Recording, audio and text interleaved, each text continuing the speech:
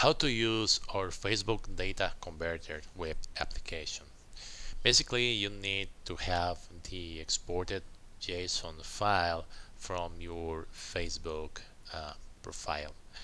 Uh, I'll leave in the description how to do that. Um, it will take you to the links of the Facebook documentation on how to download your profile.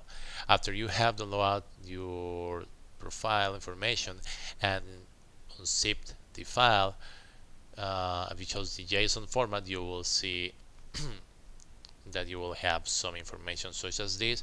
When on one of your files will be named your underscore post.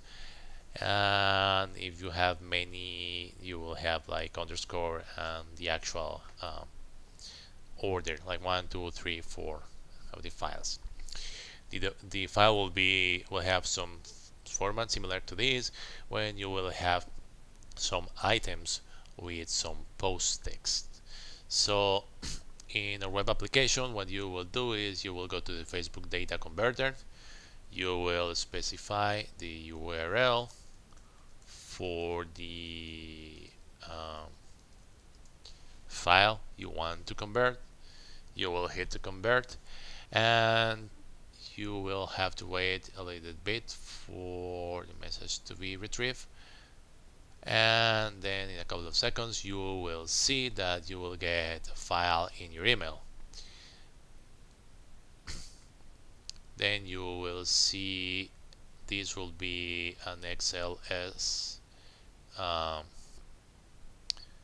file with record unique ID, record date, post text, and you will see some uh, information about the places if those posts have some place link to them.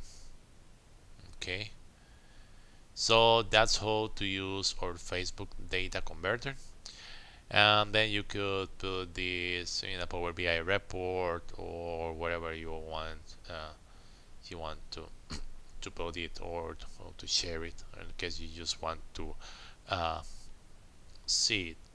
This file format you can also use it in our um, emotions analyzer application which we are going to see in a future video. Thank you very much and have a great day.